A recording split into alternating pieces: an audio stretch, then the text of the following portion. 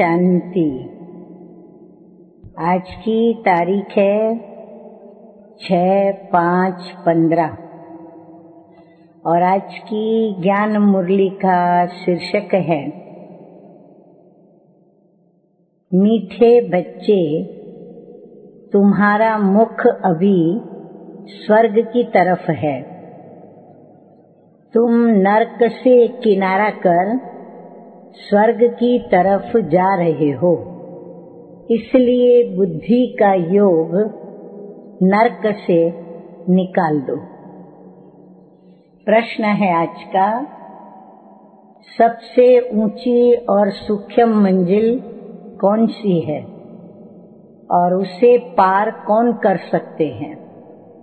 उत्तर है, तुम बच्चे स्वर्ग की तरफ़ मुँह करते माया तुम्हारा मुँह नरक की तरफ़ फेर देती है। अनेक तूफ़ान लाती है और उन्हीं तूफानों को पार करना यही है सूक्ष्म मंजिल। इस मंजिल को पार करने के लिए नष्टो मोहा बनना पड़े। निश्चय और हिम्मत के आधार पर इसे पार कर सकते हो। विकारियों के बीच में रहते, निर्विकारी हंस बन के रहना, यही है मेहनत। गीत बजा है आज का, निर्बल से लड़ाई बलवान की। ये कहानी है दिए की और तूफ़ान की। ओम शांति। मीठे मीठे बाप दादा कहते हैं, बच्चे जो सेंसिबल हैं, वो अर्थ तो अच्छी रीति समझते हैं। जिनका बुद्धि योग, शांति धाम और स्वर्ग के तरफ़ है उन्हों को ही बाबा कहते हैं कि तूफ़ान लगते हैं। बाप तो अभी तुम्हारा मुँह फेर देता है। अज्ञान काल में भी पुराने घर से मुँह फिर जाता है, फिर नए घर को याद करते रहते हैं कि कब तैयार हो, कब तैयार हो नया घर तो हम नए घर में जाए। अभी तुम बच्चों को भी ध्यान में है कि कब हमारे स्वर्ग की स्थापना हो फिर हम सुख धाम में आएँगे। इस दुख धाम से तो सबको जाना है। सारी सृष्टि के मनुष्य मात्र को बाप समझाते रहते हैं कि बच्चे अभी स्वर्ग के द्वार खुल रहे हैं। अब तुम्हारा बुद्धि योग स्वर्ग के तरफ़ जाना चाहिए। हेवन में जाने वाले को कहा जाता है पवित्र। हेल में जाने वाले को अपवित्र कहा जाता है, क्योंकि स्वर्ग में सभी पवित्र आत्माएँ हैं और नरक में सभी अपवित्र हो जाती हैं। गृहस्थ व्यवहार में रहते बाबा कहते हैं, बुद्धि योग हेवन के तरफ़ लगाना है। समझो बाप का बुद्धि योग हेवन के तरफ़ और बच्चों का हेल के तरफ़ हो तो दोनों एक घर में कैसे रह सकते? हंस और बगुले इकट्ठे रह न सके। बहुत मुश्किल है। उनका बुद्धि योग है ही पाँच विकारों के तरफ़। वो हेल के तरफ़ जाने वाला, अर्थात नर्क के तरफ़ जाने वाला और वो हेवन के तरफ़ जाने वाला। दोनों इकट्ठे रह न सके। बड़ी मंजिल है। बाप देखते हैं कि हमारे बच्चे का मुँह हेल के तरफ़ है। हेल तरफ़ जाने बिगड़ वो रह ही नहीं सकता। तो फिर क्या करना चाहिए? ज़रूर घर में झगड़ा चलेगा। कहेंगे, यह भी कोई ज्ञान है। बच्चा शादी न करे। गृहस्थ व्यवहार में रहते तो बहुत है ना? हाँ गृहस्थी जो हमारे बाबा के ट्रस्टी बच्चे हैं, उनको ये प्रॉब्लम आती है। तो बच्चे का मुख हेल तरफ़ है और वो चाहते हैं कि नरक में जाएँ। बाप कहते हैं नरक के तरफ़ बुद्धि योग न रखो। परंतु बाप का कहना भी मानते नहीं। फिर क्या करना पड़े? तो इसमें बड़ी नष्टो मोहा स्थिति चाहिए। ये सारा ज्ञान आत्मा में ही है। हाँ बाबा इशारे में राय दे रहे हैं, युक्ति बता रहे हैं। बाप की आत्मा कहती है कि इनको हमने क्रिएट किया है और मेरा कहना नहीं मानते हैं। कोई तो ब्राह्मण भी बने हैं, फिर भी बुद्धि चली जाती है हेल के तरफ़। तो वो जैसे एकदम रसातल में चले जाएँगे। हाँ अगर हेल के तरफ़ बुद्धि योग रखेंगे तो क्या होगा? बाबा कहते हैं, रसातल में चले जाएँगे, अर्थात गिर जाएँगे। तो मीठे मीठे बाबा कहते हैं, बच्चों को समझाया गया है कि ये है ज्ञान सागर की दरबार। हाँ सभी ध्यान से सुने। ये है स्वयं परम पिता परमात्मा जो कि ज्ञान के सागर हैं। तो ये है ज्ञान के सागर की दरबार। भक्ति मार्ग में इंद्र की दरबार भी गाई जाती है। पुखराज परी, नीलम परी, माणिक परी, बहुत ही नाम रखे हुए हैं। क्योंकि ज्ञान डांस करती है ना।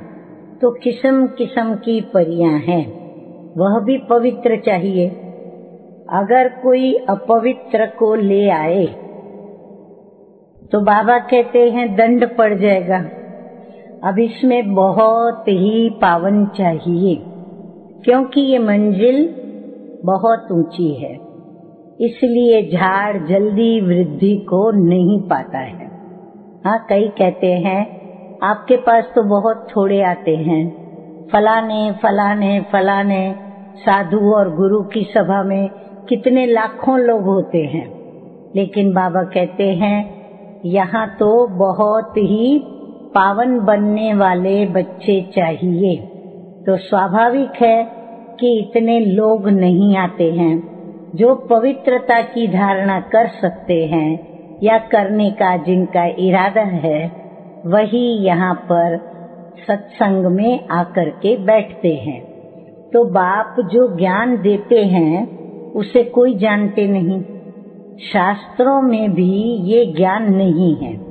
इसलिए थोड़ा निश्चय हुआ, फिर माया एक ही थप्पड़ से उनको गिरा देती है। तूफ़ान है ना? किसका तूफ़ान है? ये माया का तूफ़ान है।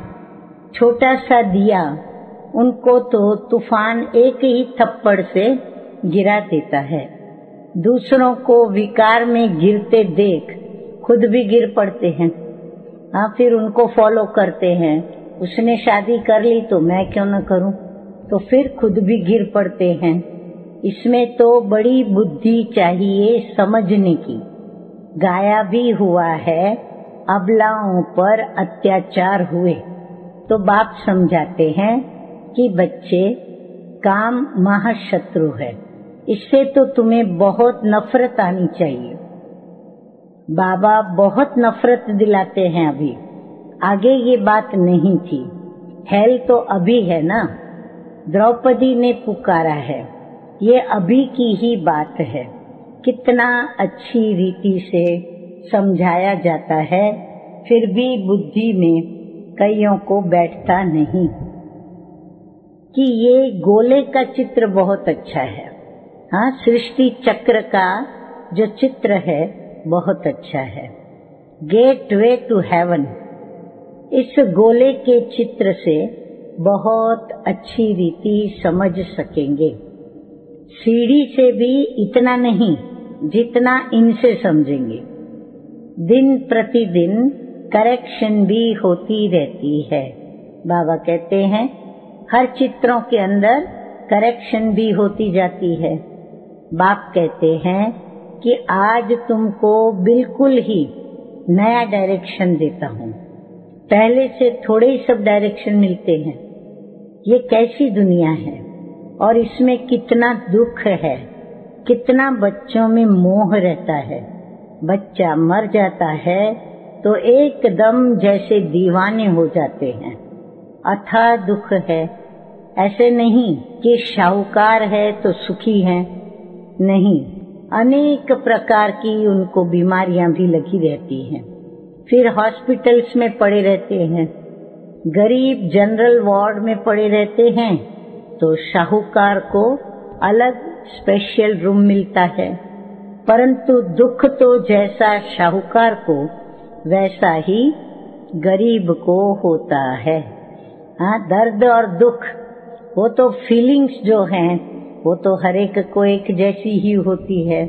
सिर्फ़ उनको जगह अच्छी मिलती है, संभाल अच्छी होती है। अभी तुम बच्चे जानते हो कि हमको कौन पढ़ा रहा है?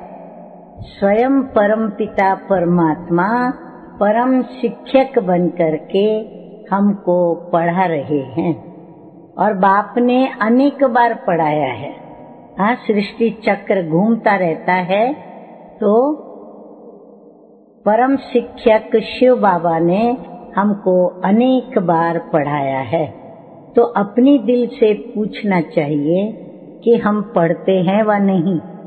हाँ बाबा हमेशा में बीच बीच में, स्वयं के दिल दर्पण में देखना भी सिखलाते हैं। तो बाबा कहते हैं, स्वयं से पूछना चाहिए कि हम पढ़ते हैं या नहीं, और फिर कितनों को पढ़ाते हैं। हाँ चलो हम पढ़ते हैं, परंतु पढ़ाते नहीं तो भी ठीक बात नहीं है। पढ़ना है और बाबा कहते हैं पढ़ाना भी है। अगर पढ़ाएँगे नहीं तो बाबा कहते हैं पद क्या मिलेगा? रोज रात को अपना चार्ट देखो। आज किसको दुख तो नहीं दिया? श्रीमत कहती है कोई को दुख न दो और सबको रास्ता बताओ। जो हमारा भाती होगा, यानी परिवार का होगा, उनको झट टच होगा। इसमें बर्तन चाहिए सोने का, यानी गोल्ड, सुवर्ण, जिसमें अमृत ठहरे। जैसे कहते हैं ना कि शेरनी के दूध के लिए सोने का बर्तन चाहिए। क्योंकि उसका दूध बहुत भारी और ताकत वाला होता है। उनका बच्चों में मोह रहता है। कोई को देखा तो एकदम उछल पड़ेगी। समझेगी बच्चे को मार न डाले। यहाँ भी बहुत हैं जिनका पति, बच्चों आदि में मोह रहता है। हाँ हर एक अपने को चेक करे कि हम ऐसे मोह वाली हैं या नष्टो मोह है। अभी तुम बच्चे जानते हो कि स्वर्ग का गेट खुलता है। कृष्ण के चित्र में बड़ा क्लियर लिखा हुआ है। इस लड़ाई के बाद स्वर्ग के गेट्स खुलते हैं। वहाँ बहुत थोड़े मनुष्य होते हैं।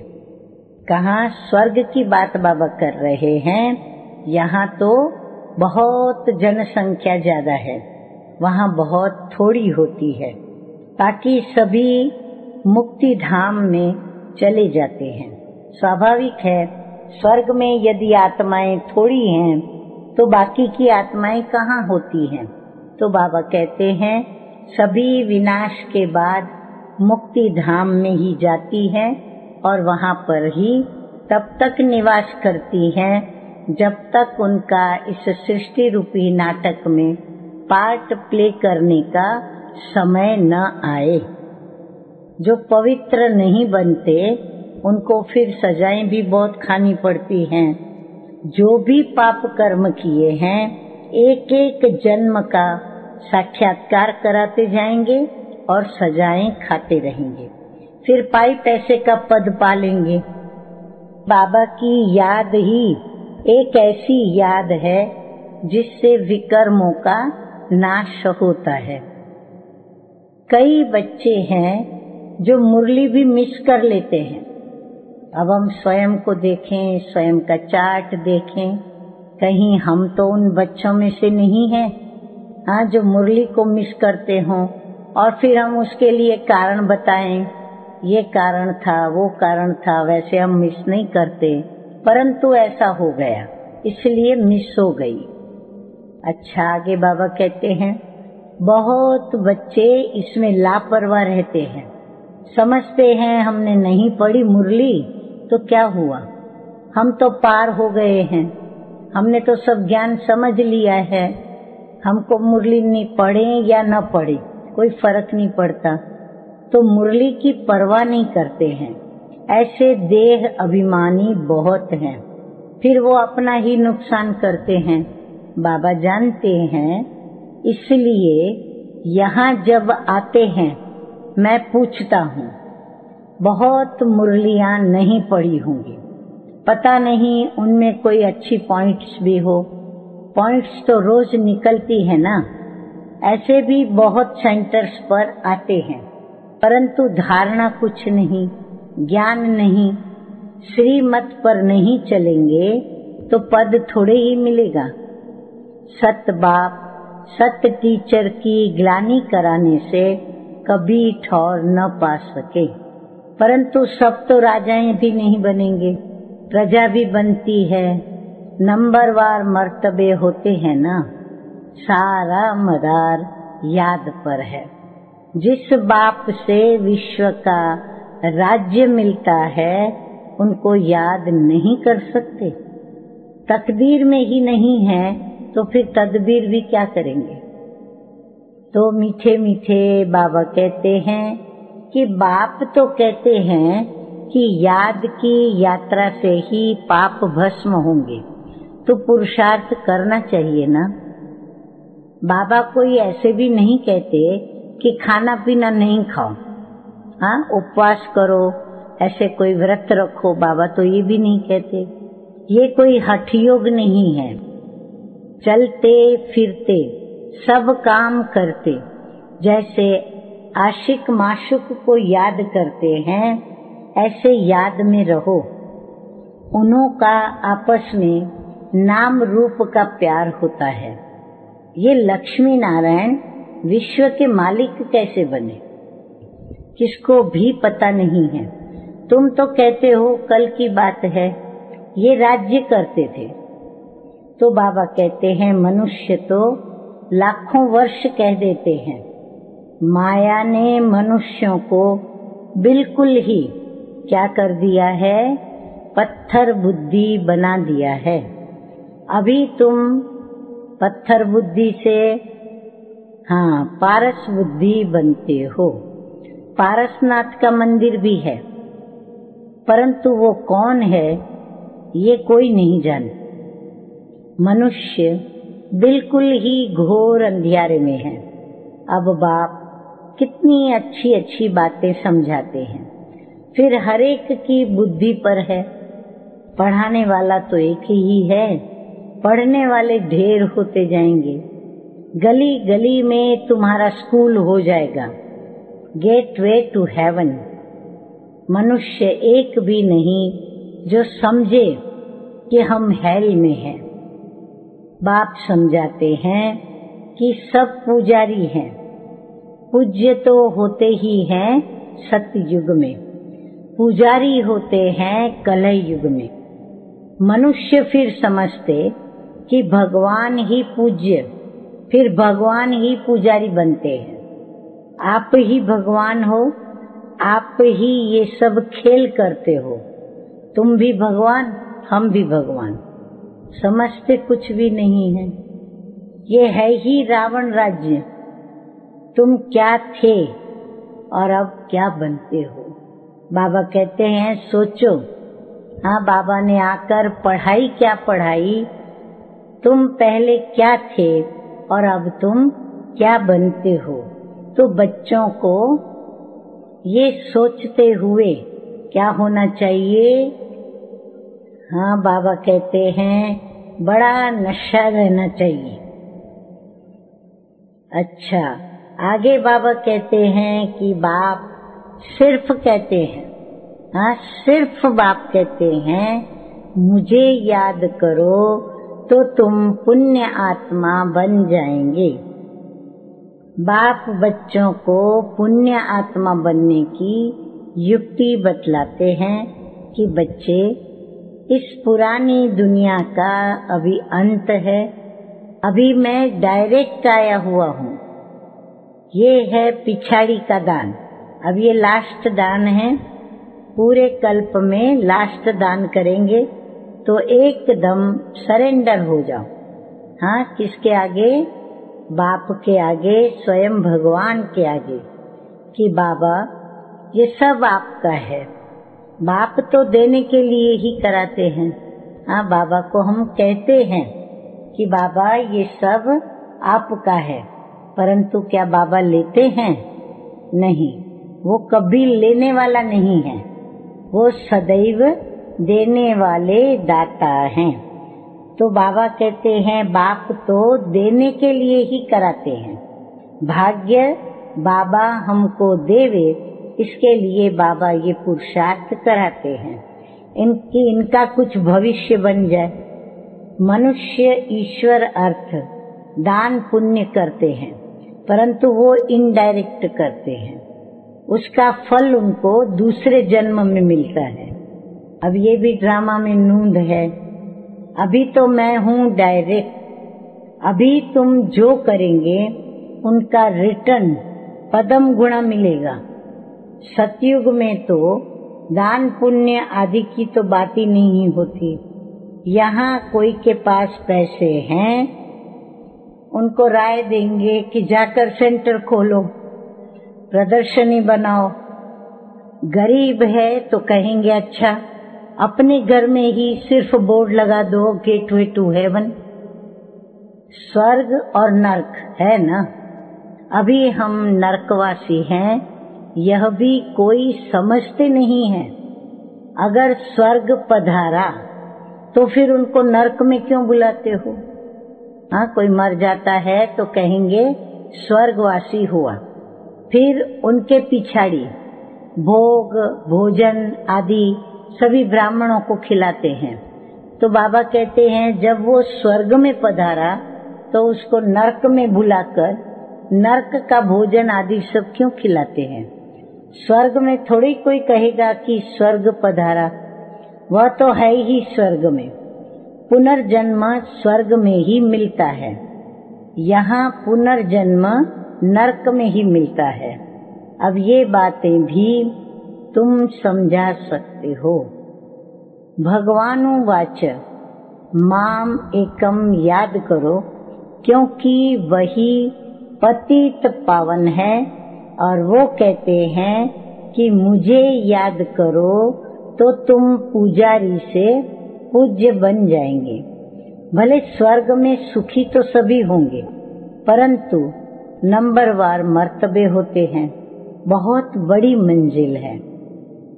बाबा अभी कुमारियों के प्रति कह रहे हैं कि कुमारियों को तो बहुत सर्विस का जोश आना चाहिए, कि हम भारत को स्वर्ग बनाकर दिखाएँगे।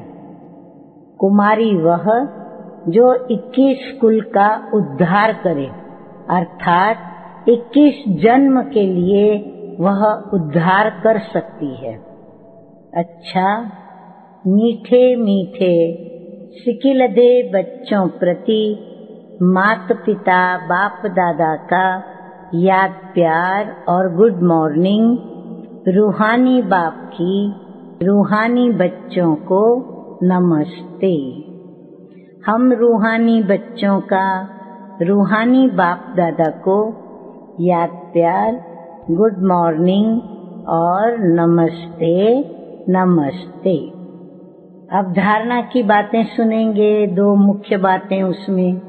नंबर एक है, इस पुरानी दुनिया का अंत है, और बाप डायरेक्ट आया है तो एकदम सरेंडर हो जाना चाहिए कि बाबा, ये सब आपका है। इस युक्ति से बाबा कहते हैं कि आप पुण्य आत्मा बन जाएँगे। नंबर दो है, मुरली कभी भी मिस नहीं करना है। मुरली में लापरवाह भी नहीं रहना है। ऐसे नहीं कि हमने नहीं पढ़ी तो क्या हुआ? हम तो पार हो गए हैं। नहीं, ये देह अभिमान है। मुरली ज़रूर पढ़नी है। वरदान सुनेंगे अभी हम सतगुरु बाप का। तो वरदान है, भिन्नता को मिटाकर एकता लाने वाले सच्चे सेवाधारी भव। बाबा कहते हैं कि ब्राह्मण परिवार की विशेषता है कि अनेक होते भी एक। आपकी एकता के द्वारा ही सारे विश्व में एक धर्म, एक राज्य की स्थापना होती है। इसलिए विशेष अटेंशन देकर भिन्नता को मिटाओ और एकता को लाओ, तब कहेंगे, सच्चे सेवाधारी। सेवाधारी स्वयं प्रति नहीं, लेकिन सेवा के प्रति होते हैं। स्वयं का सब कुछ सेवा के प्रति स्वाहा करते हैं। जैसे साकार बाप ने सेवा में हड्डियाँ भी स्वाहा की। ऐसे आपकी हर कर्मेंद्रिय के द्वारा सेवा होती रहे। हाँ बाबा कहते शरीर के हाँ जो भी मुख्य अंग हैं, उनके द्वारा सेवा होती रहे। स्लोगन है आज का, परमात्म प्यार में खो जाओ तो दुखों की दुनिया भूल जाएगी। अच्छा ओम शांति